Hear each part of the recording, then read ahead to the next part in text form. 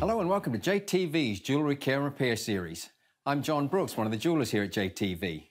Our lesson today is how to fix a clasp on a tennis bracelet. Now this is probably one of the most common repairs we do in the shop and uh, it's a simple fix. Okay, so what's happened here with the bracelet, the male end or the tongue has become slack and it doesn't catch anymore in the clasp. You see, just like so. What's happened here is lost its memory. Now, what is memory? Okay, I brought along a ruler here, and its normal state is completely flat. If I flex it and put a curve in it or a bend, and then release it, it returns back to its natural state. That's its memory. And basically, that's what's happened here with the bracelet.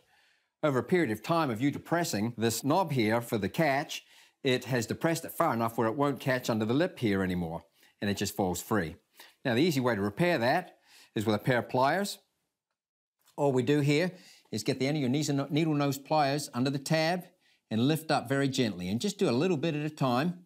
You don't have to do too much. If you go too far, you can always press it back down again, but okay, let's try that for size.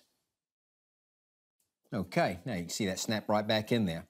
Now another option is, if, if that's going to continue to be a problem over a period of time, we just pull that back out, the female end here, this little box area, you can get the same needle nose pliers and just gently squeeze down on them, ever so slightly, just a little bit at a time, and that also will be a good fix for the same problem. Now another issue with the safety is the same thing, once again, the memory uh, is no good on that anymore, and, and it just slips on and off. So what we just do here with the needle nose pliers in the middle, there's a slight bend. We can just pinch down on that, squeeze it ever so slightly, and push that back on, and it snaps right back into place. Very easy. Thank you for watching our video today. Be sure to check out our channel for more great tips on jewelry care and repair. Come back and see us soon.